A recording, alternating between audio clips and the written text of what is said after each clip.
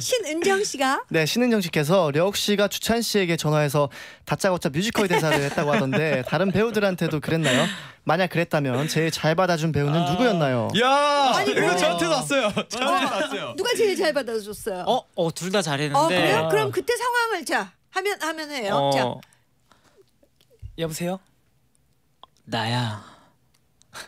어 오랜만이다.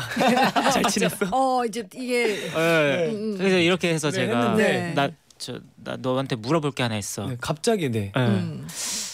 어, 그래가지고 뭐 아, 그래서 네, 이제 대사를 네. 막 시작했는데 근데 네 처음 저, 저 제가 처음 받을 때 여보세요로 시작하니까 예. 대사도 여보세요거든요. 근데 처음에는 그러니까. 번호가 뜨니까 어. 회승이 같은 경우에는 딱 어떻게 받았냐면 예. 네 형 그래서 나야 아니 처음에 딱 여기서 아네 형. 근데 어, 근데 나야 어. 네? 나 뭐라고요? 그러다 갑자기 어 오랜만이다. 대사가 대사로 예. 저 같은 경우는 번호가 없었거든요. 예. 그때 네 연습 들어간 지 얼마 안 돼가지고 음. 번호를 못 받았었는데 음. 모르는 번호로 뜨길래 받았는데 여보세요 했는데 갑자기 나야 이렇게 누가 봐도 레오기 형인 거예요 예. 목소리가 그래서 조심하세요 예, 보이스피싱 아, 실- 조심해야죠. 실전 연습하신 거죠? 예 근데 진짜처럼. 그거 이후로 감정이 또 몰입이 잘 됐어요. 어. 근데 진짜 전화하는 느낌이 아. 그때 확 와가지고 예. 한 번도 안 틀리더라고요 음. 그렇게 재밌었어요. 한번 연습을 아, 하니까 맞아요 맞아요.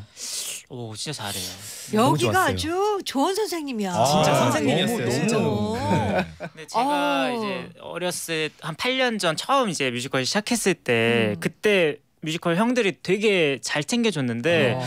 이 친구들이 처음 하는데 제, 저라도 좀 잘 챙겨줘야겠다라는 생각도 되게 많이 들면서 광염 네. 광염 가족 우리 가족 형들이 너무 잘 챙겨줘가지고 예. 정말 저는 막내로서 너무 편하게 음. 막내로서 너무 편하게 뮤지컬 할수 근데 있었던 것 사실 이 같아요. 모든 게 이제 공연 속에 녹아나니까 맞아요. 네. 정말 아주 기대가 됩니다. 너무 예. 좋았어요.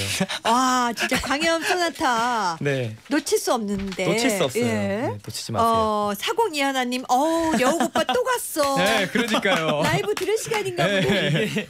한번 보다가 너무 웃겨가지고 아니, DJ 하셨던 분들이 예. 네. 아유 정확히 아. 맞춰줘야 돼요. 그래서 45분 경이 또 들어가야 되는데 아 맞네. 네, 15, 15초 정도 남았으니까. 네. 15초는 그러면은 아. 다음 들을 곡은요 려욱과 후이의 너는 나의 음악을 네. 들어보시겠습니다.